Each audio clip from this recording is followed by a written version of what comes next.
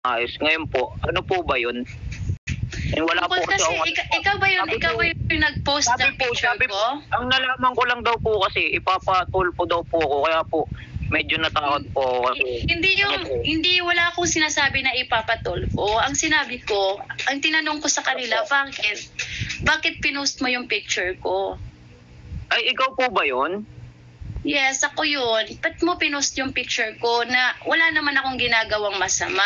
Actually, tapos dinagdagan mo pa ng nap, na, napakapangit na salita doon sa, sa ano sa sa pag-post mo. Hindi maganda yun kasi alam mo naman na kahit pa paano, pagdating dito sa Bigo, wala tayong pakialamanan. Pero pagdating sa Facebook kasi, alam natin na may mga privacy tayo doon at alam mo din na may limitasyon.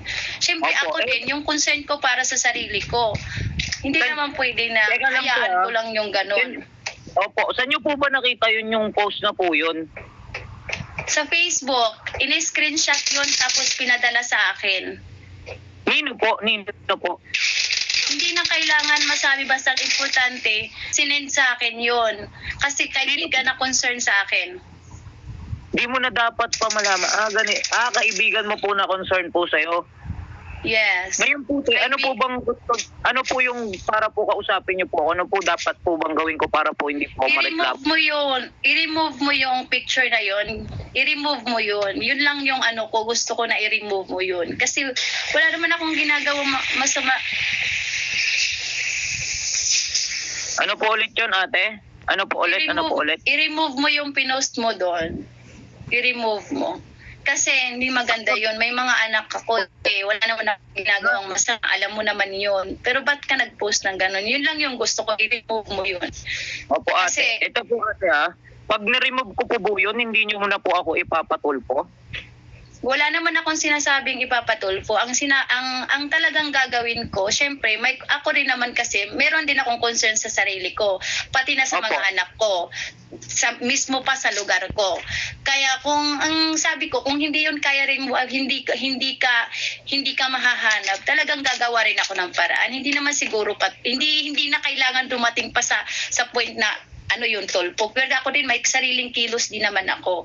Kaya nang sinasabi ko sa kanila na, syempre, tinawag ko na talaga din to sa lawyer ko. Tinawag ko na sa kanya. Sa lawyer na kung ano yung dapat kong gagawin. Kasi syempre, pinost yung picture ko. Yung concern ko lang is about my picture na pinost kung ano yung magiging, ano, ang ano yung magiging ah, kalabasan o ano yung dapat gagawin ko na ganito kung meron ba akong meron ba akong karapatan.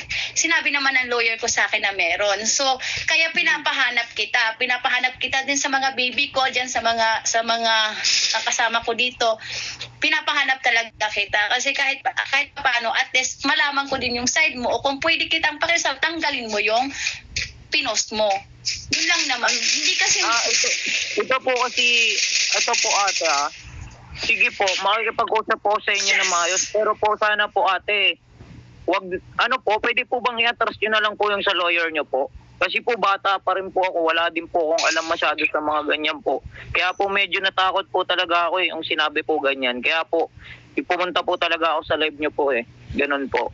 Actually po nga ngayon po, nanginginig ako kasi po, sabi daw po kasi baka daw po ano eh, makasuhan daw po ako. Yun nga po. Yung sa akin lang naman, sa akin lang naman, wag wag nang ganun kasi hindi hindi pangit Ate, pangit ate, pangit, pwede pangit po, tingnan eh. po maka, pwede po rin po ba makausap yung lawyer niyo po ngayon po na mangangako po na wala pong ano po ate kasi po natatakot din po kasi talaga ako. Pero buburahin ko po. Kakababa lang ng pag kababa lang at katapos na kami mag-usap. Kung gusto mo bukas na lang. At saka hindi ko siya pwedeng ipapakiusap ikakausap sa iyo. Bakit ko siya ikakausap sa iyo? Ako naman mismo ang nag-handle doon. Ako yung ako ako mismo ang nagbabayad doon. Tsaka lawyer 'yon. Family lawyer namin 'yon. Wait lang po ate, binabayaran niyo po yung lawyer niyo kasi po ito na po aamin po Natural, sa inyo. natural, natural. Hindi po, aamin, aamin po ako sa inyo ate. Kaya ako po talaga ginagawa yun eh para po kumita po sa FB at magpasaya ng ibang tao. Hindi yun, hindi yun nagpapasaya. Kung sa tingin mo nagpapasaya ka, alam mo naman may limitasyon, di ba? Wag, wag yung basta-basta ka na lang nagpo-post. Kung yung iba, hindi, walang pakialam, sa akin hindi pwede yun. Eh, Hindi pwede bakit yun. po ba, Tsaka, bakit po, tsaka bakit, mo po ba ako kayo nagalit? ginajudge ng, ba't mo ba ako ginajudge ng ganon? Ba't, eh, wala namang problema sa akin sabihin bibigyan mo ako katulong eh. Pero dapat, ka- bakit kailangan mo pang ganun? Hindi mo naman ako kilala. Ate, ate, ito na po. kilala, kaya Sorry po, dapat sorry hindi ka po. Ako po, po, Ako na po, turn ko na po ate. May sasabihin po talaga ako. Importante po to. Hindi na po, wag po aabot sa orte ate MJ. Hindi po, hindi po. Ito na po, ito na po talaga. Wait lang po. Ganito po ate. Sinabi niyo po, eh ate, wag mo naman po tinatakot te. Wag po, wag po. Sorry po, hindi po. Ganito po ate ah. Ano po kasi, narinig ko nga po kasi na eh, hindi nga daw po ako matutulpo. Ganyan, tapos lawyer lang po kinausap nyo. Eh, ang gusto ko po talaga, matulpo ako. Eh, pukin ng ina nyo, lalo na to si Panot. Lalo na ikaw, MJ, kang Angel. Kapukin ng ina nyo lahat, i-record nyo to, putang ina nyo. Gusto ko matulpo ako para i-shoutout ko lahat kami. Putang ina nyo mga tangahin kayo. Utang ina.